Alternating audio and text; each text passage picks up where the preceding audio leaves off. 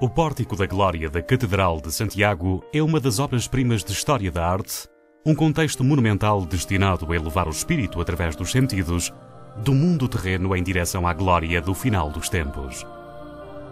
Concebido pelo mestre Mateus e consagrado a 1 de abril de 1188, recria uma visão total e comovedora da história da redenção através da arquitetura, da escultura e da pintura. Abrange desde a época do Antigo Testamento, representada na arcada esquerda, passando pela era que começa com o nascimento e a paixão de Jesus, afigurada na arcada direita, até culminar com a segunda vinda de Cristo no tímpano central, quando, após a ressurreição dos mortos e do juízo final, é estabelecido o reino eterno de Deus. A escultura do apóstolo Santiago, uma das obras-primas da arte do seu tempo, ocupa um espaço privilegiado.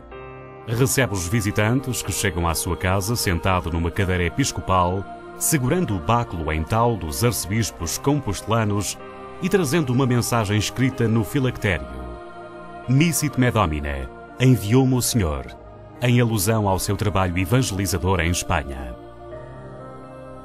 Como outros monumentos emblemáticos do património mundial, o Pórtico da Glória apresenta um estado de conservação crítico, com um avançado processo de deterioração que está a aumentar de forma evidente e que precisa de uma intervenção urgente. Em consequência disto, a policromia que decorava os relevos perdeu-se quase por completo. No pilar da direita estão representados os apóstolos mais próximos de Cristo: São Pedro com as chaves, São Paulo a suster um livro aberto e o próprio Santiago, que gira suavemente a cabeça na direção do seu irmão São João para iniciar uma conversação. Este é o lado do pórtico em que se verifica um processo de deterioração mais marcada por causa das filtrações de água procedentes das coberturas que afetaram esta zona durante anos. O granito, pedra em que foram lavradas a grande maioria das esculturas, é um material poroso e, portanto, sensível à ação da água. A grossa camada de pó, acumulada ao longo do tempo, contém compostos que, juntamente com a umidade, causaram um processo de desagregação da pedra e de desprendimento das camadas pictóricas evidentes nas faces de São Pedro e São Paulo. O estudo que está a ser executado evidenciou a gravidade deste processo que se acelerou de maneira dramática nos últimos anos. Apenas no curto intervalo de tempo que medeia entre 1992 e 2009, a policromia da face de São Pedro sofreu profundas deteriorações, testemunho eloquente de que a conservação do património não pode esperar.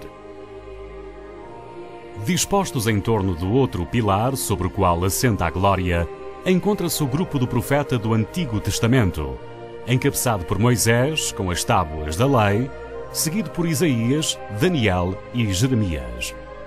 Destaca-se a intensidade expressiva de figuras como a de Isaías e o importante papel desempenhado pela policromia que ainda pode ser observado na sua face. Ao lado de Isaías encontra-se o célebre Daniel com o seu emblemático sorriso. A escultura recentemente libertada da grossa camada de pó que a escurecia cativou gerações de visitantes do pórtico. Cristo é representado em majestade, rodeado pelos 24 anciãos do Apocalipse com os seus instrumentos e flanqueado pelos quatro evangelistas. Cada um deles, decorados com uma camada de ouro, é representado escrevendo sobre o pergaminho apoiado no signo que simboliza o seu evangelho. A passagem do tempo e a umidade fizeram com que, em torno das chagas de Cristo, se formem umas novas feridas, aquelas que afetam a pedra, dando lugar a uma imagem evocadora que nos ajuda a meditar sobre a nossa responsabilidade na conservação do património artístico. Não é suficiente elaborar discursos intelectuais que ajudem a entender o significado de umas chagas, mas também devemos realizar as intervenções necessárias para curar a deterioração provocada pelas outras.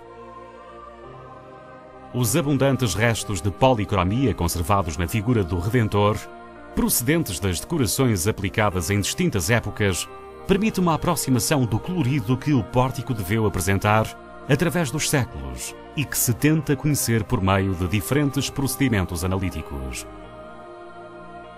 O programa Catedral representa a intervenção de maior relevância realizada à data na Basílica Compostelana. Na atualidade, concluída a primeira fase de estudos, estão a ser redigidos o projeto de intervenção e o plano de conservação preventiva, que permitirão executar os trabalhos de conservação e de restauro de todo o conjunto. À medida que avancem estes trabalhos, que são levados a cabo no quadro do programa Catedral, promovido pelo Arcebispado e o Cabido da Catedral de Santiago e financiado pela Fundação Barrier, os enigmas e a beleza do pórtico ser-nos-ão revelados pouco a pouco.